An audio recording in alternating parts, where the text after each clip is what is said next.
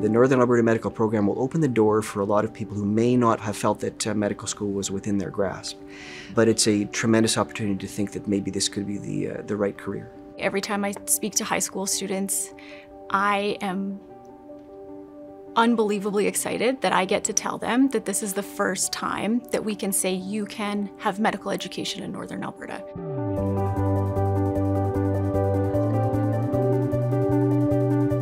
Health Education Centre is attached to Grande Prairie Regional Hospital. So when you walk through our front doors, it looks very much like Grande Prairie Regional Hospital.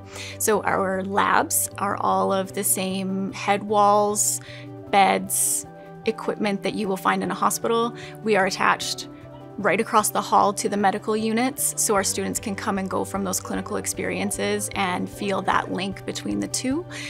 It's very much designed to facilitate that real life, real transferable exposure for health students. There is excellent classroom space, cutting edge, full fidelity simulation rooms for doing real time work with practice patients in a simulation model.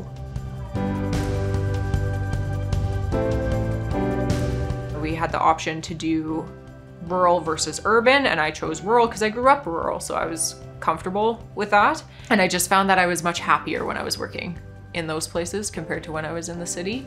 Also, when you work rural, you tend to get to do more stuff. In Grande Prairie, there was a small group of us, uh, like less than 10, compared to in the cities where you can have a class of like 50, even 100 in the same group. So just in terms of numbers, sheer numbers, there's gonna be more opportunities per resident if there's a smaller group. The program aims to address shortages in rural areas and underserved regions, especially in primary care. We know people in this region have a very difficult time getting a family physician, and even just the teaching itself here is going to provide more opportunities for people to have that medical care. Every once in a while, people will still say, we're so lucky to have four doctors in the Spirit River. And when I started, one of my colleagues started as well. So the number of doctors actually doubled within a month, which is huge. I do feel like I'm helping. The gap is much larger than me, but it's something. To be able to open the door to people to come into the Northern Alberta Medical Program, experience what that can be as a rewarding career, turn the lights on inside people's minds. Hopefully that just helps to um, bring people into this career. Um, and uh, I look forward to having them as colleagues here in, uh, in Grande Prairie and beyond.